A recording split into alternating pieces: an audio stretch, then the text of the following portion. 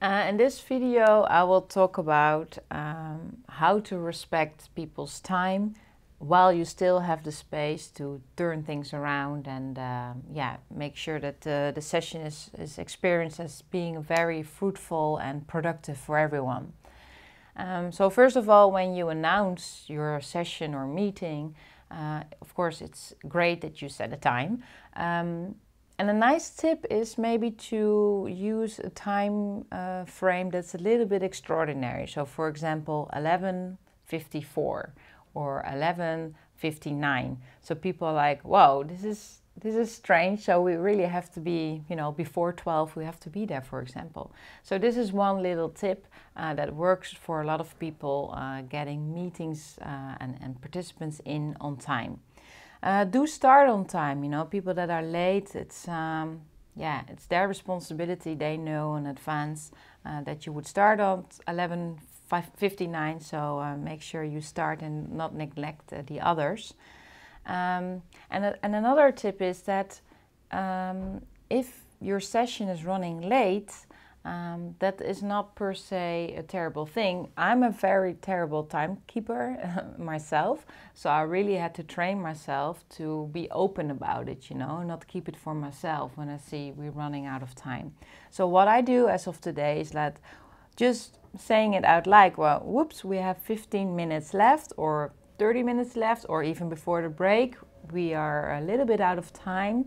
Um, and then open it up for people. What shall we do? Shall we just focus on uh, on this part that we are handling right now, or shall do, shall we move on to the next topic? So engage your people uh, in it.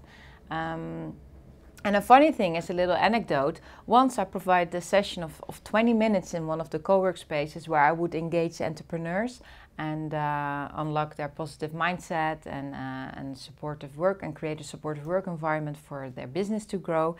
And uh, there was one participant that came up to me and he said, Yes, I really love your sessions, but they always last longer than 20 minutes. You know, it's always 30 or 40. And he was actually right because often it did, um, yeah, turned out to be a longer session because everyone loved it so much and everyone was engaged. So from that moment on, I thought, okay, I will just mention uh, when 17 minutes are passed, and then it's up to him to leave or not. So I did that the exact uh, same day. And I ring the bell, like there's 17 minutes left for people that want to leave, feel free. Uh, if people still want to continue, also feel invited etc. So in the end, he stayed because he had a really good conversation with one of the other entrepreneurs, and they figured that they had complementary resources, so they could really help each other. And from that moment, his priorities um, swapped. So this person he was engaged with and talked to was more important than uh, than his uh, schedule.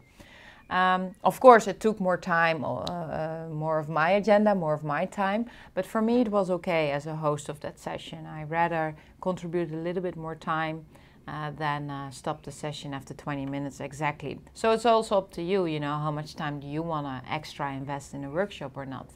However, if you really want to stick with the time, be open on forehand, say you're running late. Um, we have to kind of cooker pressure things, which is fine. We can have another session, or I can send you material after the session, or we can have another Skype call, or uh, solve it like that. There's a lot of ways uh, how to do that. So uh, I wish you a lot of luck with uh, with respecting time and, and getting uh, and creating more leaders in your workshop. And um, please leave a comment to stay engaged. Uh, like like our page or share it or what's or follow us